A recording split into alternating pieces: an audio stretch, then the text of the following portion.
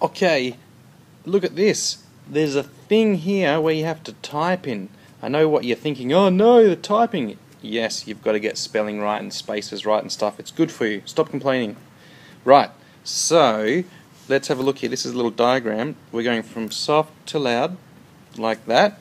And in music, you'll see this is double P and then a P, M, funny F, funny F. And if we explain this, what we can do is we can sort of put this together. So this is very soft, soft, moderately. Uh, this is loud and very loud.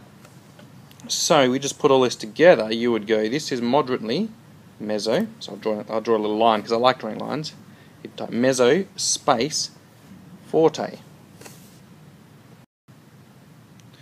What are the Italian words for loud? So that one would be forte forte, like so.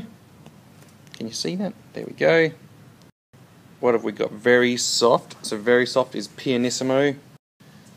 Forte is loud. I already did that. That was uh, mezzo forte is moderately space loud. That's going to be hard to spell.